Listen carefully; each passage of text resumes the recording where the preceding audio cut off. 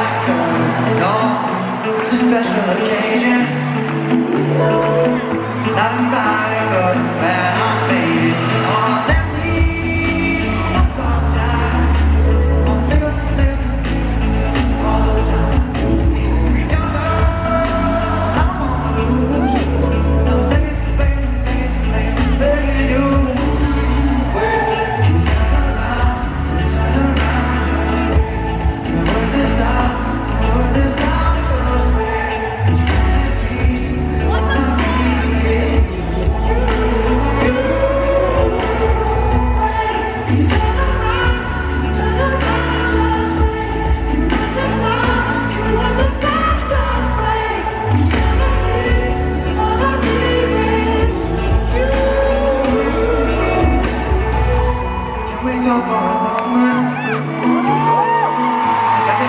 Let I'm.